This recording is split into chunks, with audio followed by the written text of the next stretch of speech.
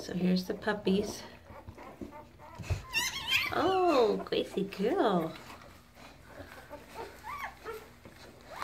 She says sorry. Such a good mommy, Gracie. Yes, you are. So they're going to go today. Today is Wednesday to get their dew claws removed and have their first vet checkup. And this little first girl right here, that is Hope. She has grown, believe it or not. And so has everybody else. Oh, cute.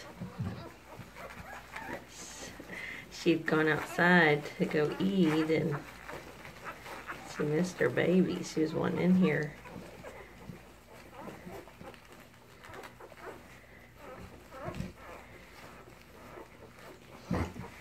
We do have some piglets for sure in this group.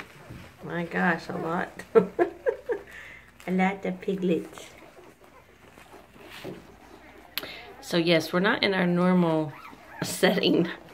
We ended up upstairs in my bathroom because she started having them at 3 a.m. And I get up every two hours to feed Hope. So it's much easier than going down to the kennel. My husband built a really nice kennel for everybody and we're not getting to use it. but this works too. All right.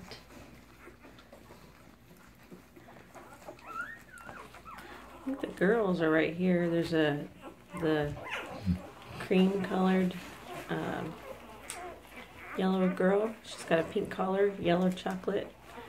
There's pink chocolate, and there is green boy. Uh, Hope, she's the other girl. Yeah, four girls, seven boys.